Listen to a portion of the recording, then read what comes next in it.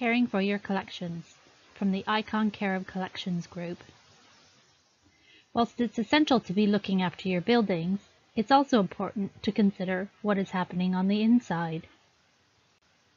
Keeping damp and moisture out will ensure that you're protecting your belongings from issues such as mold, structural changes, or water damage. Following are some top tips covering how you can care for your treasures and detailed information about caring for specific objects and materials. You don't have to deal with everything at once, as that can be too overwhelming, but consider completing a review during National Maintenance Week so you can know what you need to do over the next few months.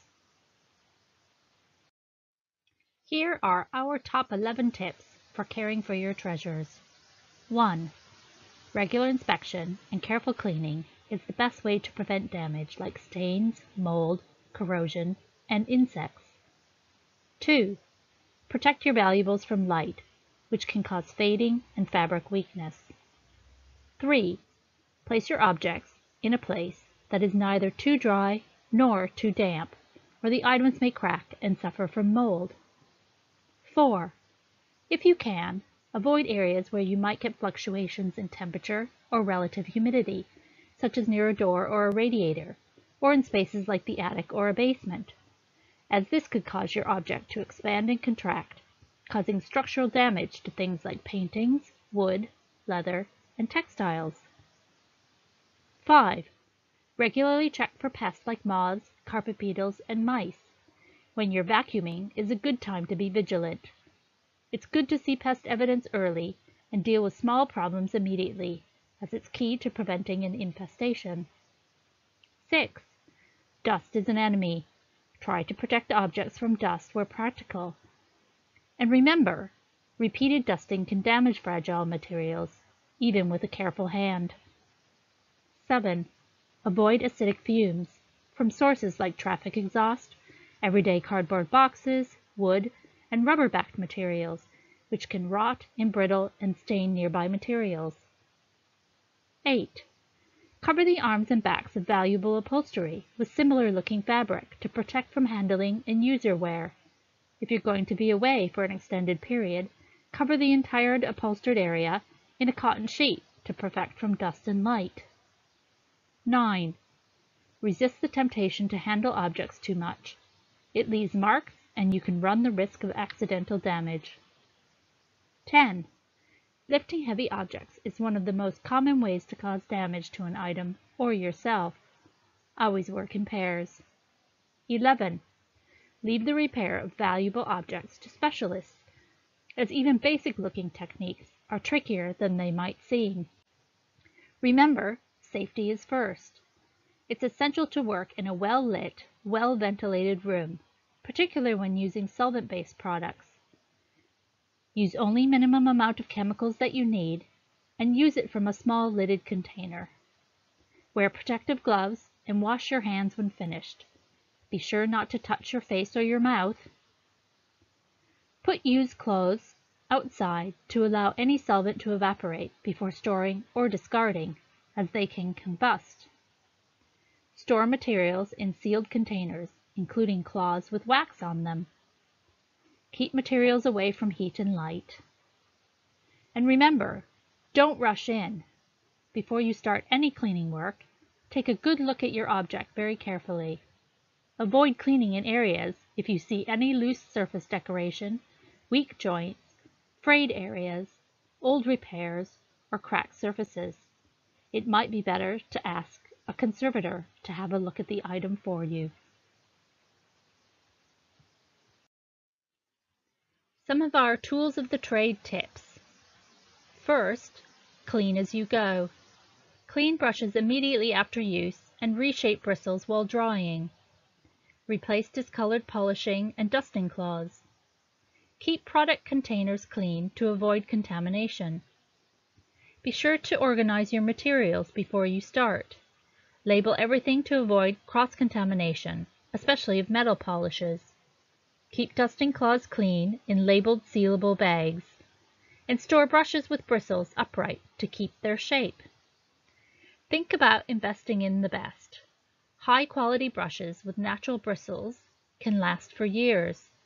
And while natural bristle brushes are more expensive, they can be more efficient, and so might be worth the investment. Take care with chemicals. Some of the substances you might use when caring for your objects are potentially hazardous. And please exercise great care. Keep all of your materials secure and safely out of reach of children and animals. And a few common materials that we use include abrasive paste for cleaning some hard surfaces. Choose paste without ammonia and with the finest evenly graded abrasive. For example, Prelim or Solvol Autosol that you can buy from motor accessory stores. Use acid-free or archival quality tissue paper, card, and boxes from which you can buy from department stores or art supply shops. When using alcohol, such as isopropanol or propan-2-ol, it's very effective at removing some types of dirt. Methylated spirit is not recommended, and you can buy these products from pharmacies. Now brushes. A pony or a goat hair brush will remove dust from delicate surfaces such as silver, gilding, and lacquer. Hog's hair is better for more robust surfaces like ceramics, carved wood, and copper alloy. Chemical sponges are used dry, and this picks up and absorbs or removes dirt by rubbing. You can buy these products from jewelry or silverware stores. Corrosion inhibiting bags or rolls will protect polished copper and silver from tarnishing. Cotton cloth is used for silver, while Intercept, a treated polythene, is used for a wide range of metals. Cotton buds of wool can be useful. Use any of the commercial varieties, but be sure that they are 100% cotton. Cotton or linen tape is especially good for tying up books. Unbleached and undyed tape is used to secure objects, and you can buy this from haberdashery departments. And finally, detergent. Be sure to use conservation grade. This must be free of color, perfume, optical brighteners, enzymes, and bleach, and it should have a neutral pH, at about pH 7. You can use liquid detergent for, for delicate silk and wool fabrics, which you can buy in a supermarket, as long as it's free of the previously listed ingredients. Caring for your glassware. Handling. Most damage occurs to glass when handling or washing it. So never wash up your best glasses when you're in a bad mood or if you're tired. Always remove jewellery from your hands before cleaning or handling glasses, as the stones in your rings might scratch it. Pick up drinking glasses by their bellies and avoid picking up any glassware by their projecting bits, as these could snap off. Cut the dust problem by completely by displaying the glass in glass cabinets. Storage. Remove decanter stoppers to prevent glass clouding, but keep the stopper nearby, perhaps securing to their object with cotton tape. Cover openings with muslin or acid-free tissue, and then use tissue hats or polythene bags to protect other stored objects from dust. In kitchen cupboards, keep similar sized glasses together so they can be taken out from the front of the shelves without any accidents. Washing instructions. If displayed on an open shelf, use a soft brush while gently vacuuming and for further protection, use a soft nozzle over the end of your vacuum cleaner to prevent from accidental knocks. Wash your antique or good quality glass or even your lead crystal glass by hand with a few drops of detergent added to the water. Do not wash painted glass as the paint may come off.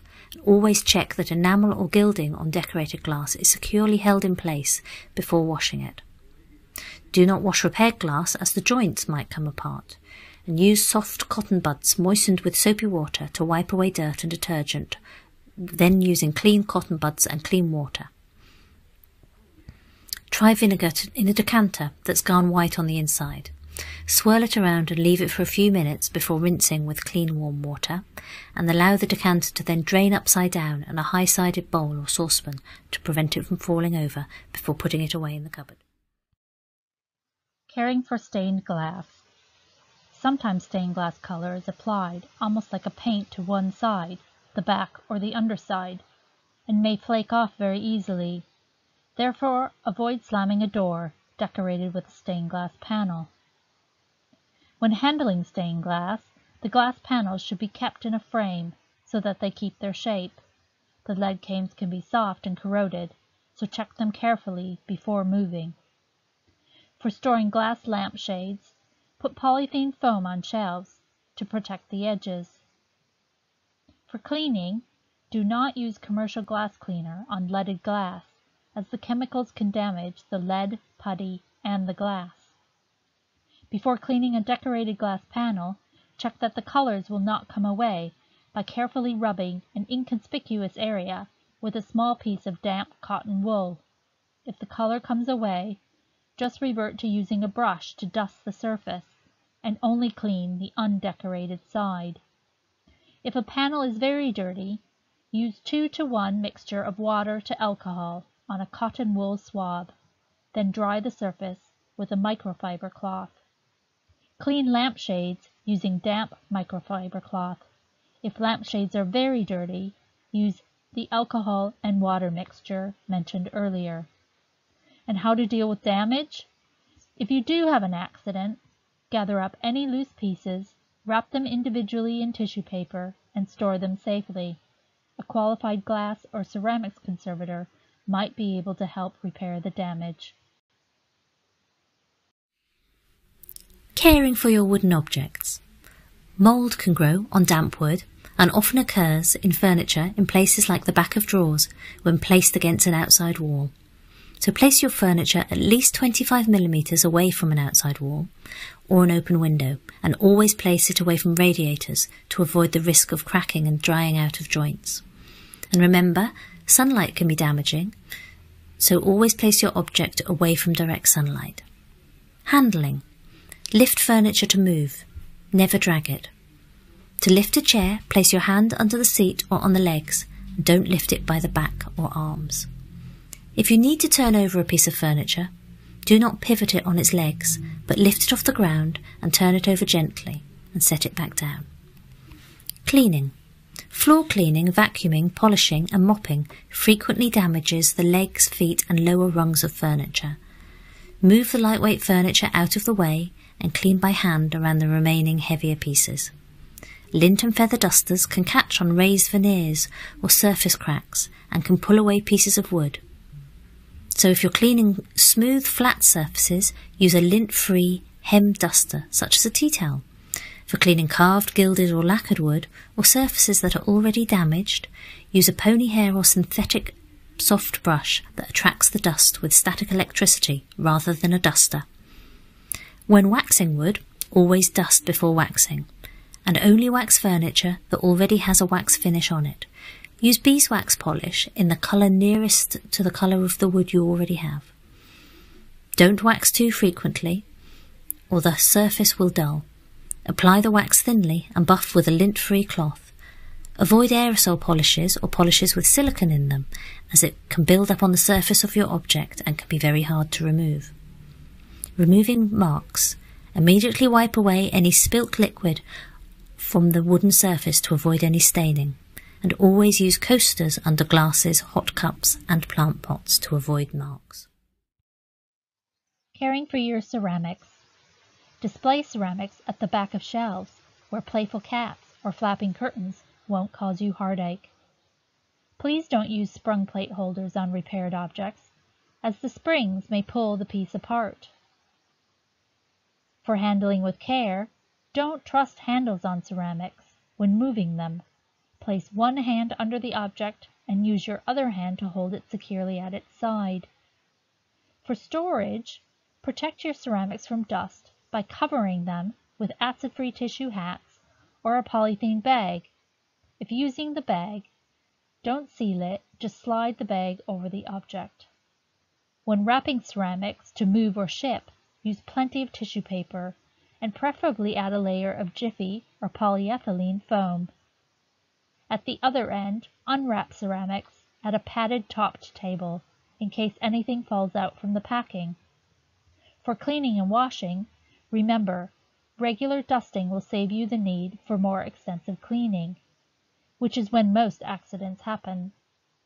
Keep objects free from dust by brushing them with a hog's hair or a softer pony hair brush. For smooth surfaced objects such as jars and vases in good condition, they can be wiped with a dry microfiber cloth. Never wash repaired ceramics, as the glued joints may come apart. Surface dirt on glazed objects can be removed with a cotton bud dampened with water containing just a few drops of conservation grade detergent. Rinse with a clean cotton wool bud dampened in clean water. Unglazed earthenware objects like terracotta and many archaeological or ethnographic wares should never be washed, as water may cause staining. And finally, do not use domestic bleach for cleaning ceramics, as it can cause damage over time. Caring for hanging textiles. Textiles and dyes are easily damaged by light, so try to avoid displaying them in bright, artificial or sunlight. Avoid hanging textiles on an outside wall, as this may cause them to become damp or mouldy. Insects often attack wool or silk curtains, especially in the folds, so try to vacuum these areas at least once a month. And display your hanging textiles as far away from people as you possibly can, as dust and soot from people can become embedded in the fibres. Displaying hanging textiles. To hang flat textiles, avoid stress damage by evenly supporting the entire width of the top using hook and loop Velcro tape. For curtains, place hooks or rings close to each other. Storage. Store small textiles in acid-free boxes padding out any creases or folds in the textiles with scrunched up acid-free tissue. Try not to pack the boxes too tightly. Larger objects should be rolled on acid-free tubes with the decoration or pile of the textile facing outwards and interlaying with tissue paper. When rolled, cover with a clean cotton dust sheet tied at each end and if possible, suspend the roll from a dowel on wall brackets. Cleaning instructions. A lot of damage can be caused by inappropriate washing, dry cleaning, or vacuuming of historic textiles. Always ask a textile conservator for advice, especially if textiles are very old and delicate. If the textile is in a strong condition, vacuum both sides at least once a year. It may be easier to take down a hanging textile and place it flat on a dust sheet for vacuuming.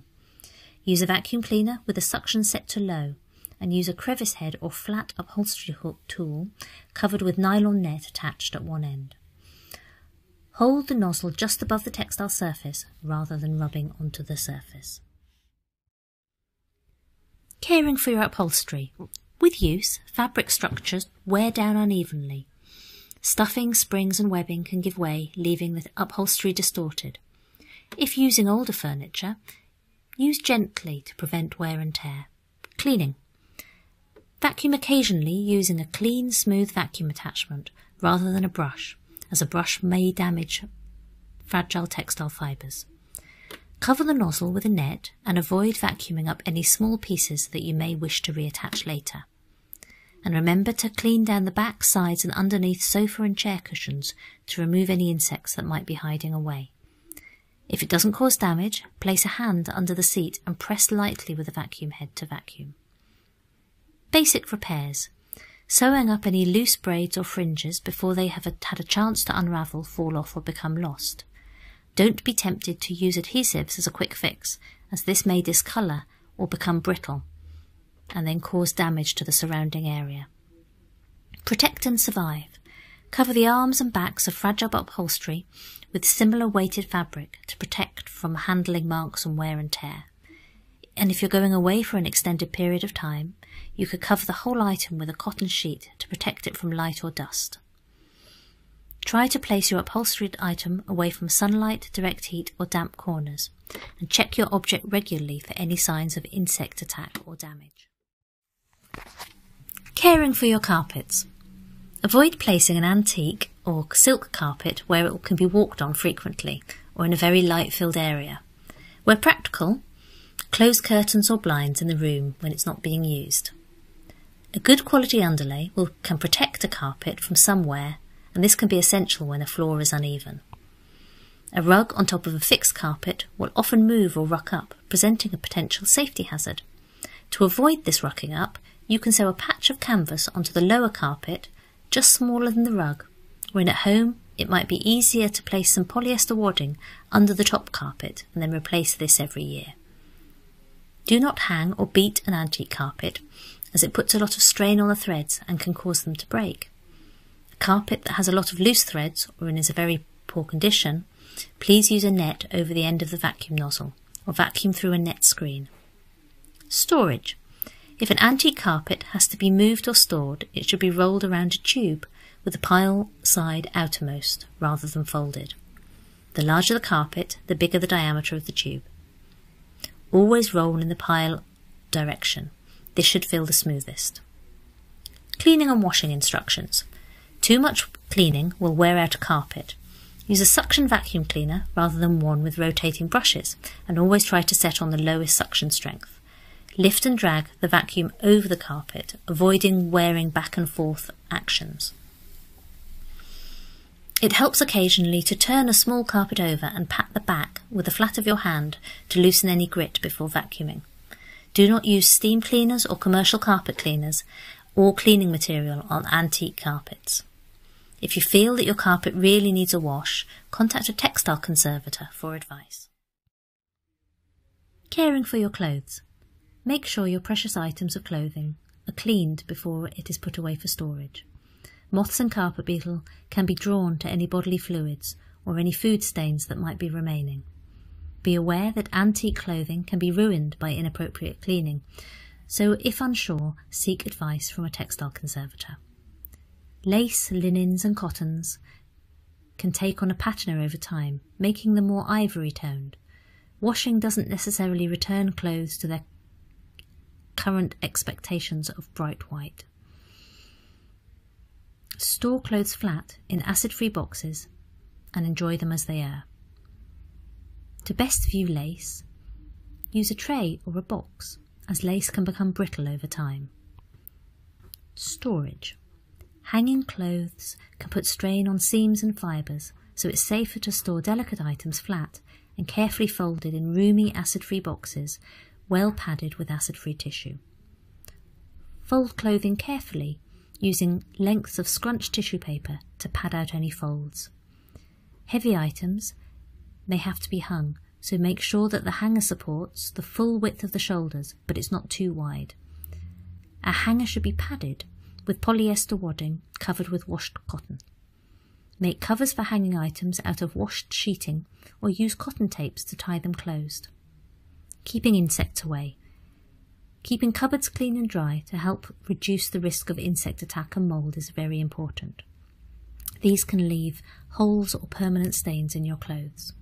Allow air to circulate and inspect clothes regularly, especially during the spring months through to early autumn. Freezing will kill most bugs, but textile needs to be strong and undecorated to be frozen safely. Gently fold or roll an infested garment with padding, seal in a sturdy plastic bag, and place in your freezer for a couple of weeks. Make sure that you bring any frozen garments up to room temperature before unsealing the bag to avoid any condensation. Caring for books. Much of the pleasure of old books is reading them rather than storing them away. But dirt can be a major enemy. Always wash your hands before handling and avoid using cotton gloves. Clean, dry hands are the most effective tools for reading a book. For handling, please don't pull a book off the shelf by the top of its spine, as this may cause it to break. Instead, gently push back books on either side and pull the wanted book by firmly grasping its sides. Please use bookmarks rather than creasing corners of pages or inserting metal clips. Creasing pages will cause the paper to crack, and paper clips can cause corrosion stains with time. Please set your books up straight. Store books upright on shelves, well supported, so that they don't slump and become distorted, which will eventually hurt the spines. Store oversized books flat on the shelf. Also, keep your books in dry, cool places where they are less susceptible to mold, mice, silverfish, woodworm, and light. For protecting books, loose spines and hard covers of old favorites can be held in place by tying tape around the book with unbleached cotton tape, positioning the knot at the book opening. Open books gently. Please don't force a book open flat unless it was bound specifically to do that, otherwise the spine will crack. Pull out maps, tables, and other oversized plates should be opened as little as possible and if opened, use the original folds to reintegrate it into the text block. For cleaning instructions, don't open dusty books. First clean the edges of the pages to prevent the dust from migrating onto the pages and therefore staining them.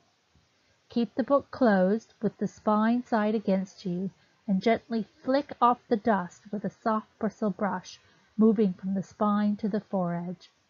Vacuum first if the dust is very thick. And if you're thinking about repairing books, sticky tape can be very damaging as the adhesive penetrates and stains both leather and paper. Keep the book parts in acid-free card or tied up with the tape and seek advice from a book conservator. Caring for stone. Immediately clean up red wine or oil spills, as many types of stone are surprisingly porous and can stain very easily. Commercial cleaning products can etch and damage floors and worktops. Always use plates under pot plants and move around to avoid stone discoloration from soil salts. For protecting stone floors, value the humble doormat. It will remove a huge amount of scratchy grip from shoes. The brush type of doormat is very effective. Be sure to shake it out regularly. Leave sharp heels at the door and wear slippers on stone floors. Over time, heels can cause a great deal of damage to stone floors. Use runners or mats to protect floors in heavy traffic areas, such as at sinks or in hallways. Lift these rugs occasionally to check for trapped moisture or dirt. Rugs will also protect against spillages. For frost-proofing statues, protect garden statuary and bird baths in late autumn by wrapping in Tyvek sheeting secured with string, but be sure to ensure the stone is completely dry before covering. For cleaning instructions, sweep or vacuum floors regularly. This avoids the need to wet wash so frequently, which is a harsher method of cleaning the stone. Before washing, use a plastic spatula nothing stronger, to scrape off any built-up dirt or food debris. Wash stone floors with tepid water containing a small amount of neutral detergent using a well wrung out soft sponge or string mop to minimize wetting. Replenish your wash water frequently during washing and finish with a clean rinse. Avoid commercial cleaning and scouring products.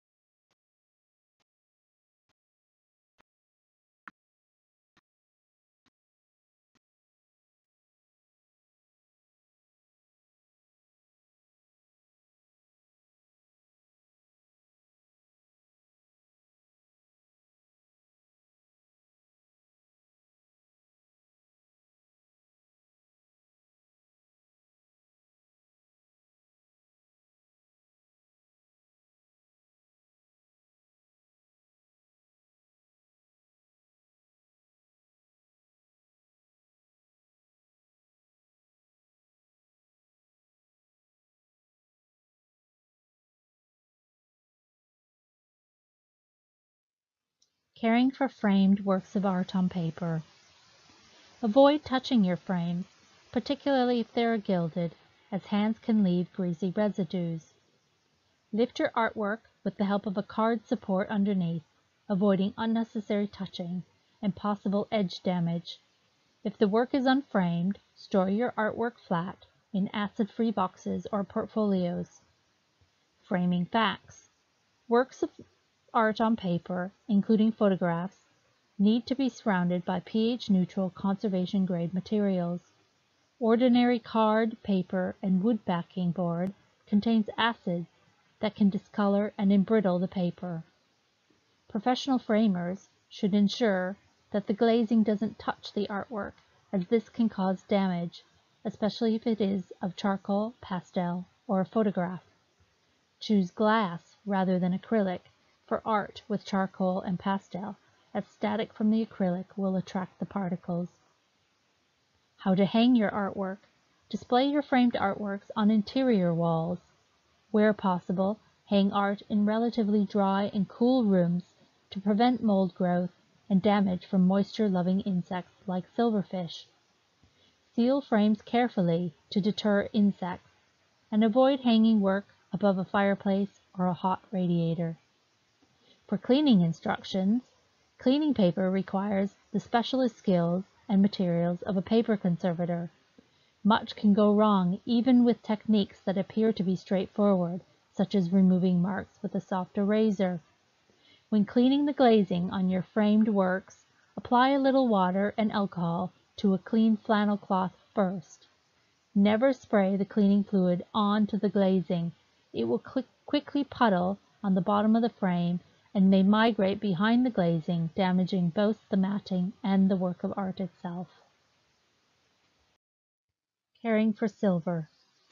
Tarnish is the enemy of silver exposed to air that contains sulfur pollutants so you'll have to be prepared to keep the silver frames of your family photos polished regularly if you want to keep them on show. For handling, always wear gloves when handling your decorative silver, as fingerprints will mark the metal. Your favorite silver rings will stay bright through regular hand washing, and frequently worn bracelets and necklaces will need only a gentle polish to retain their sparkle. For storage, Carefully wrap your special occasion silver in acid-free tissue and store in plastic or metal containers. Check your jewelry box. Cardboard and wooden boxes are acidic, so they may accelerate tarnishing of your rare, rarely worn silver jewelry. If you wrap silver cutlery or jewelry in cloth, please use cotton rather than wool, as wool contains natural oils that can affect the silver. For cleaning, a soft brush, like a makeup brush, is safer than a cloth for dusting fragile or spiky silver objects. Cotton buds dampened in alcohol are invaluable for cleaning deposits of dirt in the crevices of highly embellished items.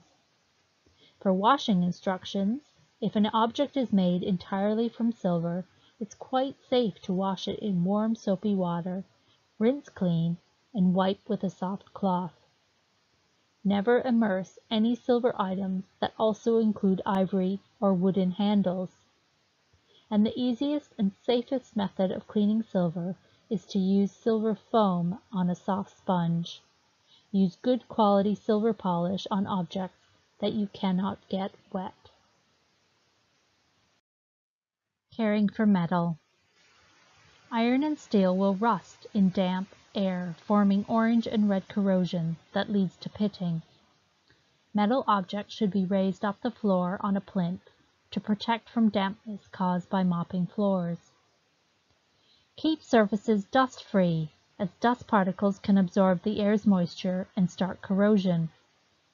Don't polish brass obsessively. An occasional rub will help prevent the buildup of tarnish. And avoid displaying brass objects over a fireplace or in a moist atmosphere, as this hastens corrosion and tarnishing. For handling, always wear gloves when handling iron and steel, as salt deposits from your skin can speed up rust formation. Cast iron is very brittle, and if dropped or set down too hard, it can easily break. For storage, keep iron objects dry. Do not leave them directly on a cement, stone, or ceramic floor, but put them on a shelf, pallet, or battens to raise them up. Small objects can be stored wrapped in acid-free tissue in a sealed plastic box. Wrap brass in acid-free tissue and store in a plastic or metal container rather than cardboard box. Special corrosion inhibiting bags and rolls are available from conservation suppliers. For cleaning brass, microcrystalline wax is better than brass polish Apply to a clean surface with a soft brush and polish off with a lint-free cloth to give protection from tarnishing. Gently does it. Remove accumulated old polish by wrapping some fibers of cotton wool round the end of a cocktail stick and dampening it with alcohol or white spirit. Dust regularly with a soft brush or use a dry microfiber cloth on smooth objects. An object made purely from solid brass can be washed in warm water with a few drops of conservation grade detergent. Rinse in warm water and dry thoroughly with a soft cloth. This will remove accumulated dirt. Use a fine abrasive paste, like Prelim, on a cotton wool bud or swab to polish the brass, as it's easier and more often effective than liquid brass polish. Buff with a small clean cloth or soft brush. For iron and steel, only clean if surfaces are smooth, unpainted, and either uncorroded or just lightly rusted. Clean off grime with cotton wool buds or soft cloth moistened with white spirit or alcohol. Remove light rust from iron and steel using fine abrasive paste on a cotton wool swab. Clean off the paste with white spirit. Use fine wire wool and white spirit to move severe rust, but do not use these abrasive methods if the surface is uneven, colored, or decorated. Protect the metal immediately after cleaning with microcrystalline wax or gun oil. For cast iron fire grates, they can be warmed up and brushed with blackening for the protection and an even black finish. And finally, stainless steel can be washed in warm soapy water, rinsed, and dried well. Caring for leather. Leather is a sturdy material, but it is prone to damage from wear and tear, handling, water, or high humidity. Animals and insects particularly find leather tasty. If you're a fan of 19th century antique leather-bound books, look out for powdery red rot caused by sulfur air pollution. And before trying to do any leather treatments, please contact a conservation specialist. For storage, pad gloves, shoes, bags, and hats with crumpled up acid-free tissue paper to support their shape. This is also the best way to dry out modern leather items if they're wet, but remember to replace the tissue as it becomes wet. Some old leathers are not as strong as they look and can easily tear or split, so please handle them carefully. Do not let leather become too dry, as it will become brittle, and avoid placing leather in direct sunlight or near a radiator. For cleaning, oils and dressings can often cause long-term damage, so keep leather clean by dusting with a soft brush. To improve the appearance of smooth leather, like on a suitcase, rub in a little beeswax furniture polish, not the cream style, using your finger or a soft cloth. Then polish with a soft brush or cloth. Don't use modern cleaning products on old or vintage leather as they can damage or stain. Some leather can be marked or damaged by water, so do not wet clean leather, just dust it. And any remaining dirt may come off by wiping with a cotton wool swab barely dampened with a little bit of white spirit. A dry chemical sponge, which looks a little bit like an eraser, lightly rubber, rubbed over a dirty area, or a dry microfiber cloth will also remove some of the dirt.